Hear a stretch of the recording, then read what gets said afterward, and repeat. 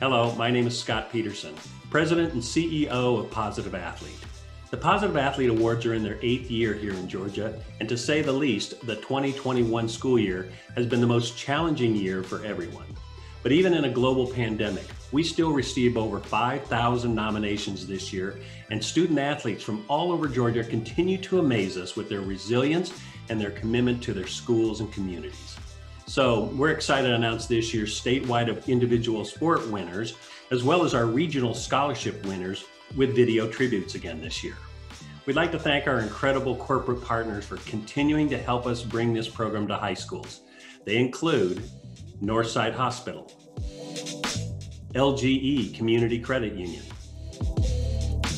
Children's Healthcare of Atlanta, Cobb EMC,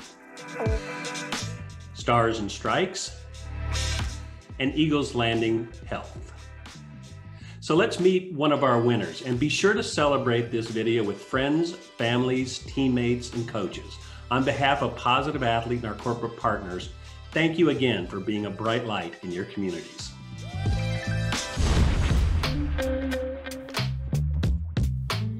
Lauren Houston has a grueling schedule juggling two sports at Lambert High School, but she never complains. She rarely gets the recognition she deserves due to her not getting a lot of headlines, but this senior basketball and soccer athlete always strives to keep herself positive while trying to uplift her teammates.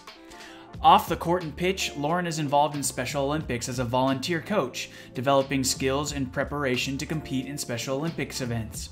She has also volunteered as a dugout coach for the Miracle League, where she created the lineup, helped players put on their helmets, and was assigned a peer buddy to help players with batting and running the bases. After joining Key Club, Lauren collected canned goods to support the Blessings in a Backpack Club for the Forsyth County Food Bank, helped raise money for the Key Club Wellness Pavilion at the Boys Ranch, and participated in a clothing drive for Hope for Domestic Violence. Here's Frida Hardage, Director of Foundation Services for Northside Hospital, with a special announcement. Hi, I'm Frida Hardage with Northside Hospital, and it's my pleasure to congratulate you on being selected as Positive Athletes Leadership Scholarship winner. While there were lots of nominations for this position, you were selected to receive it.